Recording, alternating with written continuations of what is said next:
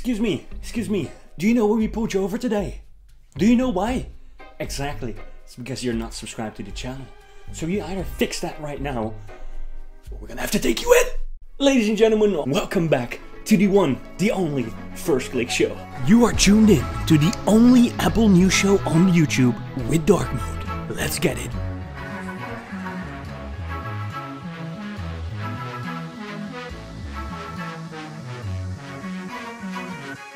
Okay, so today we actually have multiple episodes. This one is about the iPads and the MacBook Air, and there will be another one talking about the MacBook Pro and the larger iMac that is hopefully coming out later this year. At the end of the video, you will see a little card and you can switch right over to that episode. For now, let's talk about iPads. With the first story coming in from Karina from FrontPage Tech. According to Ming-Chi Kuo, both the 11-inch iPad and 12.9-inch iPad next year will receive the Mini LED update. According to the report from Ming-Chi Kuo, the rumors that we heard earlier about an OLED iPad launching next year probably isn't true. According to the most recent investor note by analyst Ming-Chi Kuo, rather than Apple limiting a mini LED display to the higher end 12.9-inch iPad Pro, the Cupertino-based company plans to make the new display technology available on the smaller 11-inch iPad Pro next year as well. This was first reported by MacRumors and 9to5Mac. In the investor note obtained by MacRumors yesterday, Kuo stated that alongside the new MacBook Air featuring mini LED display next year, Apple is reportedly also planning to bring the display technology to both the 11 inch and 12.9 inch iPad Pro. Apple first debuted mini LED displays this past April in the high-end 12.9 inch iPad Pro, but excluded the new display technology on the 11 inch iPad Pro. Now this is obviously great news for everyone that was waiting on the smaller form factor to get the update to uh, mini LED, because for sure this size is obviously closer to the one that Steve announced originally, and he obviously labeled that size the best size for the iPad, so for sure there is a huge fan base there uh, for that format, and I can completely understand that loads of people are waiting for it. So, and next year will be your chance to pick one up, according to Ming-Chi Kuo. Some more iPad news then. This second story coming in from AppleInsider iPad mini 6 set for fall launch. Now obviously the iPad mini has been a little bit forgotten or at least didn't get much attention from Apple for a really long time and now we're expecting the full redesign like the flat redesign from the iPad Pro from 2018 to finally arrive on the iPad mini 6. A refreshed iPad mini with an updated design is reportedly arriving in the fall of 2021. On his weekly Power On newsletter for Bloomberg, Mark Gurman claims the iPad mini should be a go for launch in the fall, in what is billed to be the biggest redesign in the 9-year history of the device. Gurman sources claim it will be similar to the alterations made to the iPad Air. Now, obviously, we all had the previous rumors of the schematics and all the things that were leaked, right? Uh, even pictures of dummy devices uh, for the iPad Mini 6. Uh, so yeah, they're gonna Thanos snap all the bezels away. Even the home button is finally going to be removed on the iPad mini. And probably there will be something like Touch ID in the power button on the side, something like the iPad Air, obviously, like we all expect. But uh, it's definitely good to get that treatment for the iPad mini since it looked a little bit dated.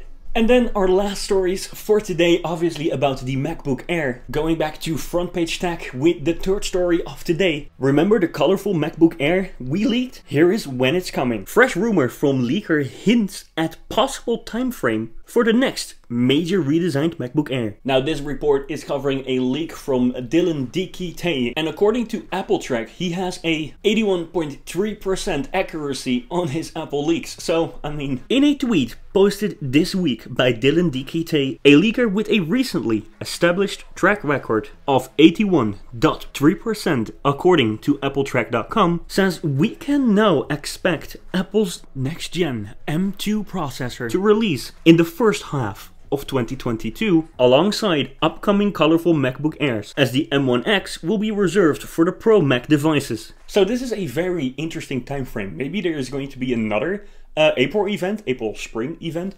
I don't know how they're going to call it, but um, it is definitely interesting to see that uh, Apple is moving to a model where every single like quarter of the, the, the year we're going to get new Macs and um, or well allegedly that is like really interesting, right? Like at the beginning of the year, at the end of the year, some people say in the middle of the year. Wow. I mean, I'm definitely excited for what is coming, right? But um, is it going to be something that every single like quarter or few months we're going to get a new Mac?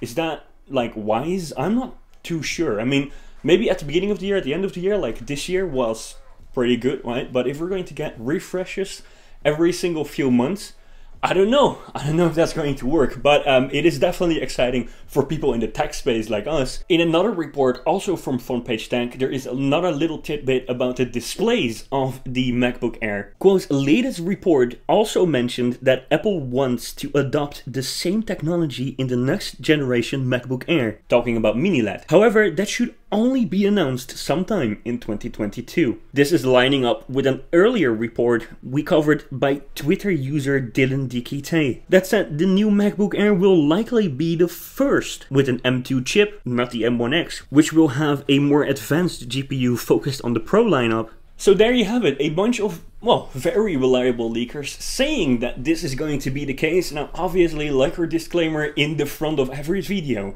these are rumors and might never get any substance to them. Like Apple might never confirm any of this to be true, but it seems hopeful since so many people with such a reputation on being right say that this is going to happen. Anyways, for now guys, I hope you guys enjoyed this video. And obviously the card that I promised is right here. You can click here right now and go to the other stories about the M1X MacBook Pro and the M1X iMac? iMac Pro? We don't know yet. Anyways, I hope you enjoyed this video. Leave a like, leave a comment, subscribe to the channel, and for now, click on.